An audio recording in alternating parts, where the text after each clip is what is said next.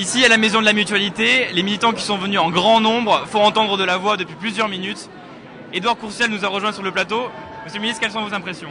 Bah, Écoutez, bonsoir. Écoutez, ce soir, c'est à l'image de ce que j'ai senti ces dernières semaines dans toutes les fédérations que j'ai visitées, dans tous les départements, où j'ai senti une vraie mobilisation, un intérêt particulier pour cette élection présidentielle, intérêt d'ailleurs qui a été démontré ce soir, au contraire de ce que les ondeurs nous avaient annoncé, par une participation exceptionnelle.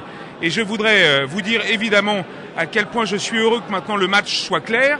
Il y a d'un côté le candidat de l'évitement permanent, celui euh, qui essaye de concilier un bloc de gauche plus faible qu'attendu d'ailleurs, et avec des gens qui ne pensent pas la même chose à l'intérieur, et le candidat de l'engagement, le nôtre, Nicolas Sarkozy, engagement pour préparer une France forte, c'est le seul à même de nous protéger de la crise et de préparer la France pour ce 21e siècle déjà entamé, avec les meilleurs atouts qui sont les siens et en respectant évidemment les grandes réformes que notre pays a trop attendues, comme il le fait depuis 2007, pour continuer à les mettre en œuvre avec courage et détermination, ce qui sont les caractéristiques de Nicolas Sarkozy.